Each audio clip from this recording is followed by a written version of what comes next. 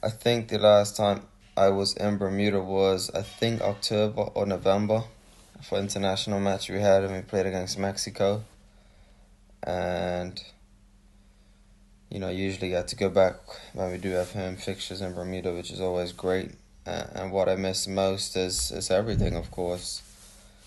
The place, um, the weather, but more importantly, my my people and my family. Obviously, Bermuda's home for me, and it holds a special place in my heart.